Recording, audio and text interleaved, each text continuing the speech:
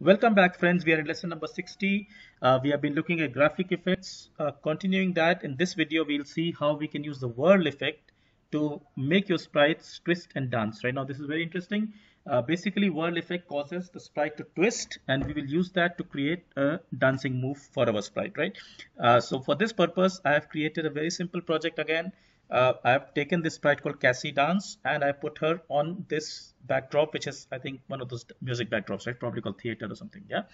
Now, what I want to do is that I want to basically make her appear like she's twisting, and the best effect for that purpose is the whirl effect. Uh, so what I will do is that I'll say when the flag is clicked. Now this time I'm going to use the whirl effect. So basically, uh, you know, say, uh, so I'll say set say whirl effect to maybe zero so that in in uh, in the beginning she's like standing upright and thereafter I put this in a control loop basically I say forever and now I want to base make sure that she twists one way and then she twists the other way right? And that's what the whirl effect does.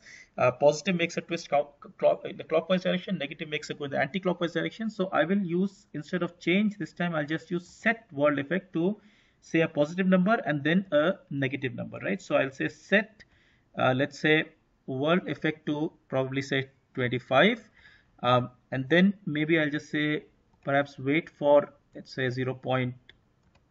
0.3 second and then I'll just duplicate this whole thing I'll say set whirl effect to say minus 25 right? Now I just want you to notice that I'm not using change here because if I let's set it uh, you know change then uh, whirl effect by 25 so whirl effect will become 25 and then it becomes 0 right? Here instead I want them to make it 25 and minus 25 so I want to set those values that's why I'm using set and you can already see that our uh, Cassie is looks like it's kind of twisting and creating a very nice dance move You can, which you can combine with other dance moves to create an even more interesting effect right?